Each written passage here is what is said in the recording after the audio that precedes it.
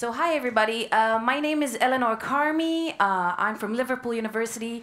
I'm a postdoc research associate in uh, digital media uh, and society. And today I'm going to talk about the theoretical framework that I've developed. Um, I don't have a lot of time, so 10 minutes for academics is really short. This is really uh, a challenge. So I'm going to talk to you a bit about how I developed my framework. And if you want more examples, you can check out my book, which is going to be published next uh, month, hopefully, um, in Peter Lang. Uh, it's called um, Media Distortions Understanding the Power Behind Spam, uh, Noise, and Other Deviant Media.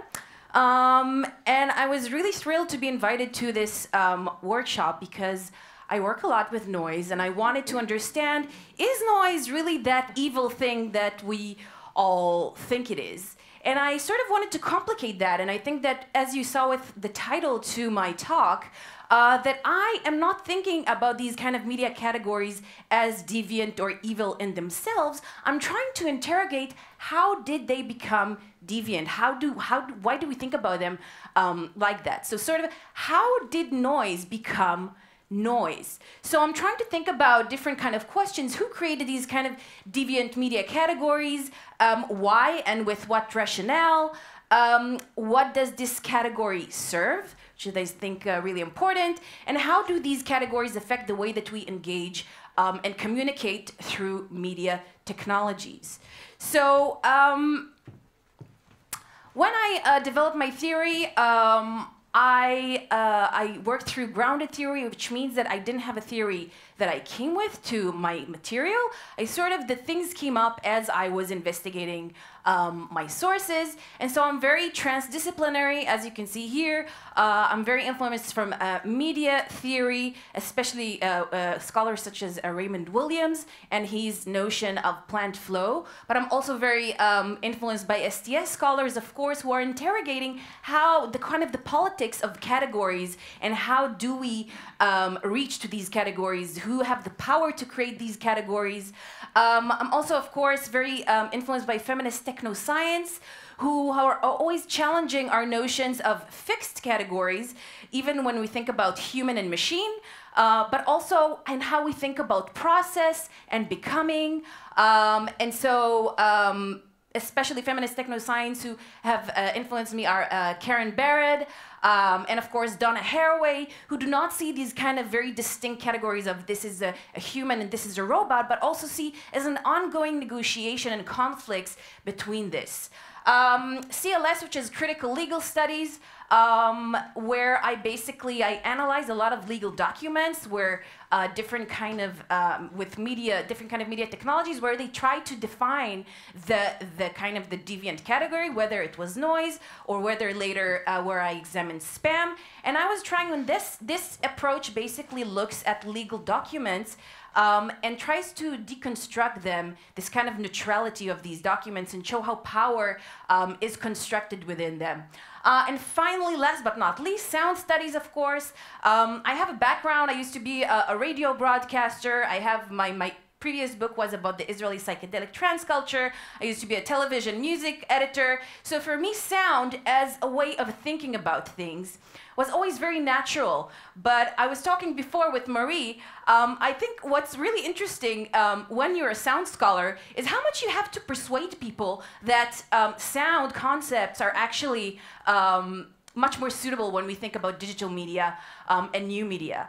Um, so a lot of new media scholars um, think about um, the internet and different kind of digital environments uh, through different kind of terminologies. I think the most famous one is the black box, right? We have all of these kind of infrastructures that we can't really understand what's happening behind them. Uh, so we're thinking about vision and invisibility and transparency. And when I was dealing and engaging uh, with my case studies, I was realizing that actually vision is very limited because vision is very constrained to time and space. Whereas when I'm thinking about and when I was in investigating what I was uh, looking at, and I'm going to show you my case studies shortly, I was looking at these kind of multiplicities, and this is something that, again, uh, feminist technoscience talk about a lot. There are multiplicities of infrastructures, uh, we have uh, multiplicities of actors, uh, we have multiplicities of time, Um, and I think that sound uh, sort of caters to that because sound does not respect different kind of basically architecture boundaries, but different kind of different uh, engagement and also different uh, when we're talking about multiplicities of actors. So for me, and this is from Ghost in the Shell. If you haven't seen, then you have to see it now. Um, and what I really like about her character is that she manages to change between first of all being a human and a machine, but also between traveling and sort of sliding between different types of architectures, which from what I saw from my research is very crucial for our understanding uh, of the, that politics. So when I'm looking at noise, I'm not really thinking about noise in itself. I'm trying to understand how in different times and in different media technologies, different media companies try to um, uh, construct the way that we understand deviant media, sort of this kind of unwanted sound. And we heard that a bit in the previous um, talks. So in my first case study, I look at the early 20th century at Bell Telephone Company. I looked at the Noise Abatement Commission um, and also at, at, the way that they constructed uh, their telephone operators. Um, and then I jump into the web standardization project in the European Union, and I show how the European Union had a project to distinguish between deviant media behavior, which were framed as spam, whereas other um, behaviors um, on, on the internet, which were exactly the same, such as web cookies, uh, were framed as legitimate. And I wanted to understand this kind of that conflict and who did that kind of uh, serve. And in the, the last uh, case study, I look at Facebook and how did they define different kind of media uh, behaviors um, as spammy or as deviant, and what were the consequences of that. So um, I, I, basically deal with two main concepts. One of them is processed listening, which is a mode of listening whereby practitioners who can come from different uh, professions and interests, it could be individuals, organizations, and government, listen to different sources, it could be material, digital bodies, using different kind of tools, it could be manual or automatic, in different times in order to produce different kinds of knowledge for similar purposes. And basically what I mean here is to create different kind of archives, to create different kind of profiles of people and of audiences, uh, which can be used for different kind of purposes. And the complementary concept to that is Rhythmedia, uh, which is the way that these media companies then take this kind of knowledge they produce with processed listening and then how they shape the architecture, whether it's a physical architecture as in uh, 1930s New York City, but then when we go to uh, the web and then on Facebook, how these kind of different algorithms change and how they shape our architecture in order for us to behave in what they uh, define as sociality while pushing aside different kind of behaviors that they define as spam and trying to to understand um, the politics um, behind that. So um, in these kind of two concepts, um, I talk about uh, seven strategies which are connected to these two concepts. So when I'm talking about the knowledge production of processed listening, I'm talking about how these kind of new experts um, are trying to define these kind of different categories. They're usually, they have licensing either by themselves or from different governmental um, uh, bodies.